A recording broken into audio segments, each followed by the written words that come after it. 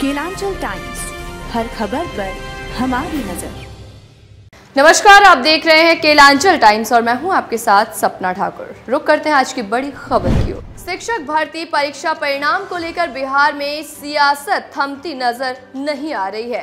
परिणाम जारी होने के बाद से ही बिहार सरकार पर हमलावर रहे पूर्व सीएम जीतन राम मांझी ने एक बार फिर से रिज़ल्ट में दूसरे राज्यों के अभ्यर्थियों की नियुक्ति पर सवाल उठा दिया।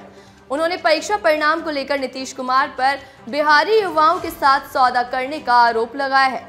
हम के संरक्षक जीतन राम मांझी ने दो दिन पहले यूपी जदयू के नेताओं की नीतीश कुमार से मुलाकात और फिर मुख्यमंत्री के फूलपुर से चुनाव लड़ने की मांग को लेकर परीक्षा परिणाम से जोड़ते हुए आरोप लगाया कि बिहार शिक्षक भर्ती में यूपी और दूसरे राज्यों के युवाओं को इसलिए मौका नहीं दिया गया ताकि इसी बहाने वो उन राज्यों में अपनी पार्टी का विस्तार कर सके।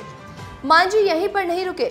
यूपी के फूलपुर से नीतीश कुमार की चुनाव लड़ने की लेकर चल रही चर्चा पर कटाक्ष करते हुए मांझी ने उन्हें कुर्सी का लालची तक बता दिया।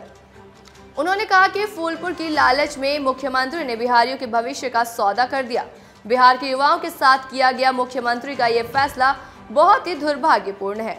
मांझी ने सोशल मीडिया हैंडल एक्स पर लिखा कि उत्तर प्रदेश के जेडीयू नेताओं की नीतीश जी से मुलाकात और संगठन विस्तार की बात ने साबित कर दिया है कि शिक्षक नियुक्ति परिणाम में अन्य राज्यों के लोगों के चयन के बहाने जदयू उन राज्यों में अपना विस्तार चाहती है। फूलपुर की लालच के लिए बिहारियों के भविष्य के साथ सौदा करना दुर्भाग्यपूर्ण है। बता दें कि बिहार शिक्षक भर्ती परीक्षा में बिहार सरकार ने डोमिसाइल पॉलिसी को खत्म करने का फैसला लिया था, जिसके कारण दूसरे राज्यों के लाखों अभ्यर्थी भी शिक्षक भर्ती परीक्षा में शामिल हुए थे। परीक्षा परिणाम में भी दूसरे राज्यों के हज़ारों अभ्यर्थी भी बिहार में शिक्षक बनने में सफल हुए।